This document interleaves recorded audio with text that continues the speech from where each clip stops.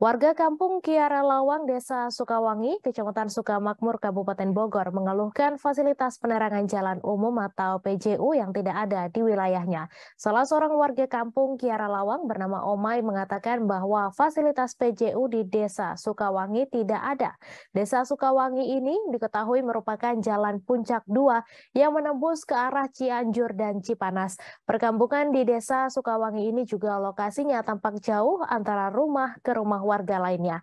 Untuk informasi selengkapnya akan disampaikan langsung oleh wartawan Tribun Bogor, Reynaldi yang kini sudah terhubung bersama kami. Silakan rekan Rey.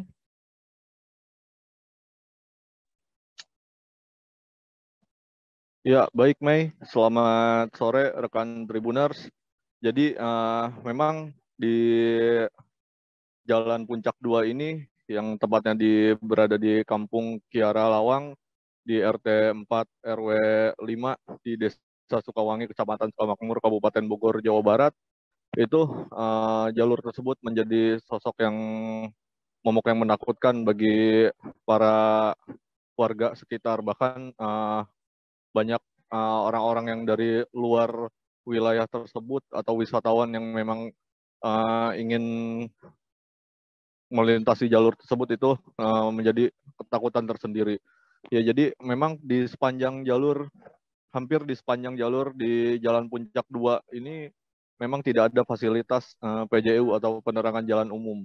Jadi uh, memang lokasinya juga yang cukup jauh dan berada di atas pegunungan, uh, bahkan di desa-desa yang berada di kecamatan Sukamakmur ini juga uh, itu jaraknya antara desa sangat jauh. Jadi harus melewati hutan bahkan uh, perkebunan-perkebunan uh, yang berada di sekitar. Nah, jadi memang aktivitas dari warga di sekitaran Jalan Puncak 2 ini juga uh, menjadi terbatas. Jadi memang di warga tersebut kebanyakan uh, berprofesi sebagai uh, kuli ataupun petani-petani, uh, bahkan supir-supir dari truk. Jadi untuk jalur puncak 2 ini diketahui memang uh, merupakan jalan alternatif atau jalan penghubung menuju ke arah Cianjur atau Cipanas dari arah Kabupaten Bogor, Bekasi, Depok atau Jakarta Timur.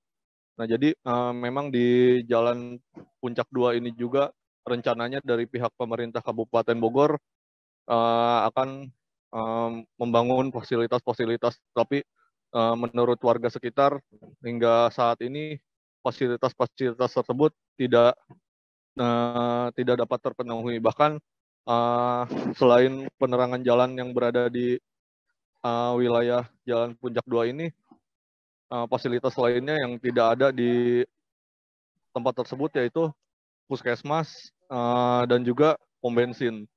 Jadi memang uh, selain penerangan jalan umum ini uh, tidak ada um, untuk penerangan jalan pada malam hari itu hanya mengandalkan lampu-lampu dari uh, rumah warga saja dan dan juga penerangan dari uh, bulan ataupun bintang di pada malam harinya.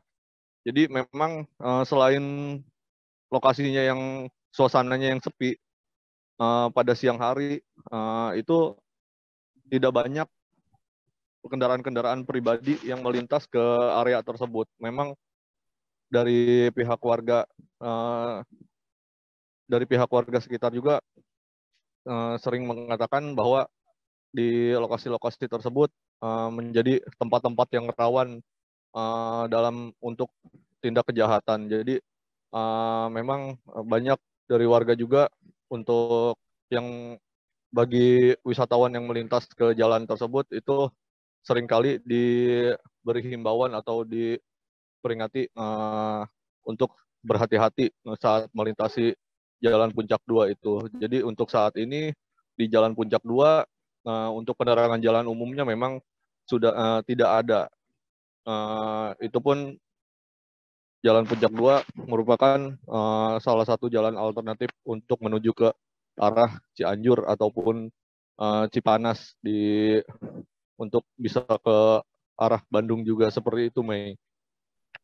Baik, terima kasih rekan Reynaldi atas laporan Anda. Selamat bertugas kembali. Terima kasih sudah nonton. Jangan lupa like, subscribe, dan share ya.